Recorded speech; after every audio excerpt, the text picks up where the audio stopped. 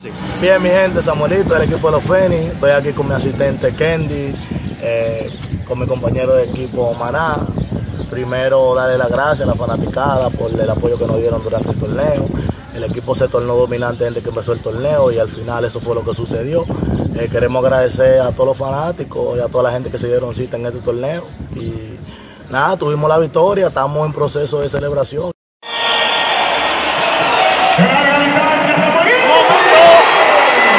¿Qué se siente la emoción, la emoción de ganar? es algo, es algo porque uno lucha, desde el principio uno lucha y uno pone la fe y uno pone el enfoque en ganar. Cuando tú lo logras, entonces tú, tú sientes todo, lo- todo lo que tú has pasado en el torneo entero, tú te sientes bien satisfecho por la victoria. Bien, y se está apoyando el, el deporte aquí en el municipio de Yamasá. Bueno, claro que sí. El diputado Contreras hizo buenos aportes, nosotros nos sentimos contentos.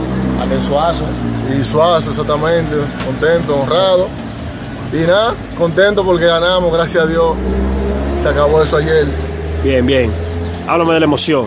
Oh, feliz, papá. ¿Sabían que iban a ganar o eh, llegó momento de que sentían que iban a perder? No, en ningún momento nos caímos. Siempre fuimos positivos, siempre con el corazón, le metimos, con el público, la emoción.